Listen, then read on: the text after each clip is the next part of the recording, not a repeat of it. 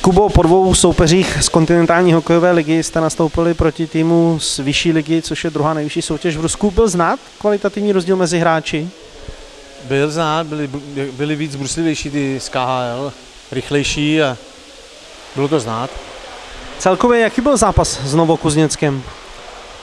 Já si myslím, že byl takový v pohodě, že to nebylo nic rychlého extrémně. Bylo znát, že přece jenom jste byli odpočatější na rozdíl od toho prvního domácího utkání s Ekaterinburgem. Tak je to pravda, jsme hráli dva zápasy za sebou a bylo to znát, že jsme odpočatý.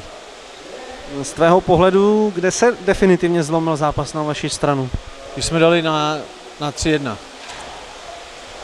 Ty si dával první gól, je to vlastně letošní první gól v domácím prostředí v přípravě. Jak si celou tu situaci viděl?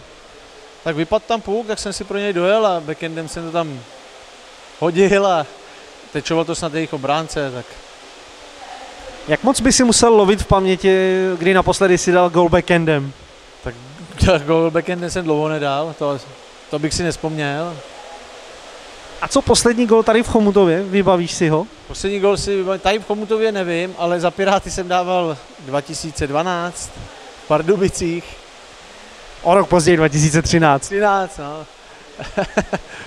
Využili jste i dvě přesilovky. Povzbudí tohle manšaft, že se povedlo skórovat zase v přesilovkách, protože ten dosud jediný gol byl taky v přesilovce? Tak určitě trenér nám říkal, že máme beci střílet a házet to do brány a ono se to vyplatilo. V tom prvním domácím zápase jste gol nedali. Co bylo tentokrát jinak, že se jich povedlo dát víc, kromě toho, že, jak si říkal, soupeř byl přece jenom maličko slabší?